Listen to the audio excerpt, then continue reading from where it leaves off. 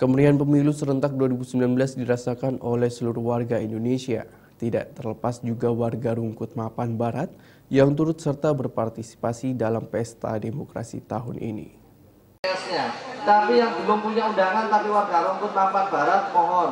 Mengusung tema Bhinneka Tunggal Ika, rukun warga delapan dari Rungkut Mapan Barat Surabaya ini berpartisipasi total dalam euforia pemilu serentak 2019 diikuti oleh 1.119 daftar pemilih tetap dengan tingkat partisipasi mencapai 96,2 persen.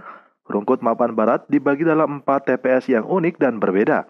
TPS 26 mengangkat karifan Madura, TPS 27 mengangkat tema etnik Tionghoa, TPS 28 bertemakan Jawa, dan TPS 29 bertajuk Nuansa Bali. Dana pembuatan tempat pemungutan suara ini diperoleh dari KPU yang masing-masing TPS sejumlah 1,6 juta dan dikumpulkan di RW untuk dibuatkan TPS bersama kas warga RW. Namun untuk mewujudkan TPS yang meriah ini, warga juga turut serta dalam menyumbang pernak-pernik di masing-masing TPS. Total dana yang disanggarkan untuk memeriahkan pesta demokrasi di rukun warga ini sebesar 50 juta rupiah. Jadi eh, kita sudah tahu semua dari KPU itu menerima dana 1,6 juta setiap TPS. Nah itu dikumpulkan di RW, kemudian untuk membangun 4 TPS seperti ini kita menghabiskan lebih dari 50 juta ya. Itu kita bersyukur sekali warga RW 8 ini kegotong royongannya sangat tinggi. Seperti hiasan-hiasan etnik Tionghoa itu dari warga Kebetulan barusan merayakan Imlek ya, iya. jadi tinggal ngambil dari rumah.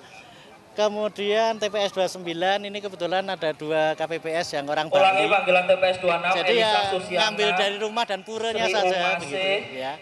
Nah, kemudian yang uh, berwujud uang tunai untuk sewa kursi, uh, membuat sekat-sekat dinding, sewa terop, kita pinjam dari koperasi RW 8 RMP.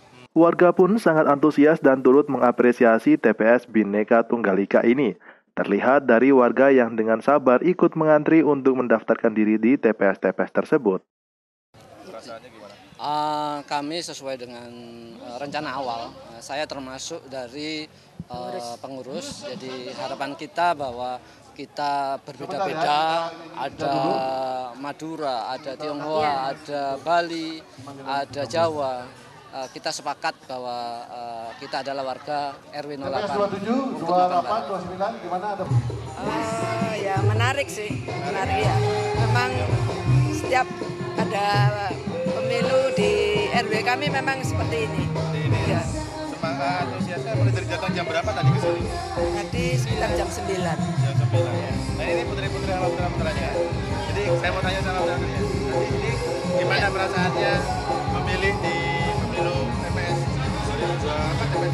ya? 26 ya. Gimana perasaannya? Uh, yang pasti antusias ya karena kan ini kan cuma lima tahun sekali terus kebetulan yang ini kan yang pertama kali bareng jadi kayak uh, presiden terus untuk yang legislatif juga jadi ya dinikmatin aja terus kebetulan kan juga ada acaranya juga tidak hanya tampilan TPS dan panitianya yang unik, para pemilih dari warga pun dihibur oleh sajian musik di panggung utama dan juga ada kupon undian berhadiah yang disediakan panitia RW 8 Rungkut Mapan Barat Surabaya sebagai bentuk menarik minat warga untuk menyuarakan hak pilihnya.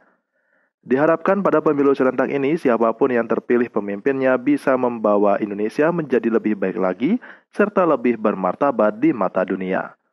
Irwanda Ikadisa, Dewan Bayu, Surabaya TV.